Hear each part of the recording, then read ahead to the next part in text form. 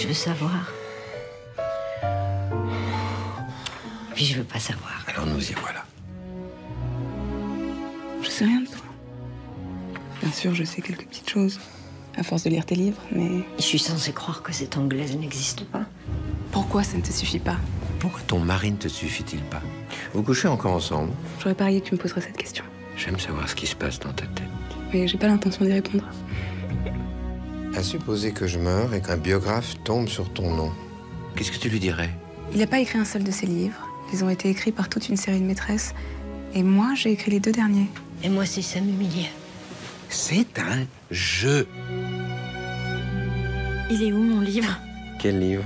Le livre dans lequel je suis. Je suis venue à ton hôtel et tu as voulu que je monte dans ta chambre. Et la petite américaine, là, faux folle, c'est qui? En fait, je me souviens que très vaguement de toi. Ah bah désolé. Naturellement, tu m'as manqué. Qu'est-ce qui te manque? Tu veux savoir? Non, pas de propos grivois, s'il te plaît. Je suis un écouteur. Je suis un audiophile. Un audiophile, mais. Mais quelle connerie prétentieuse. Très érotique.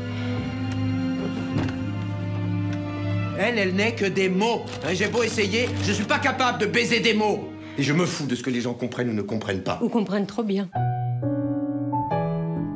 Ah dis donc, qu'est-ce qui va se passer quand il va te demander d'où vient ce bleu sur ta cuisse? Non, il l'a déjà fait. Oh. Et alors? Bah, je dis la vérité. Je dis toujours la vérité, comme ça on ne se laisse pas piéger par le mensonge.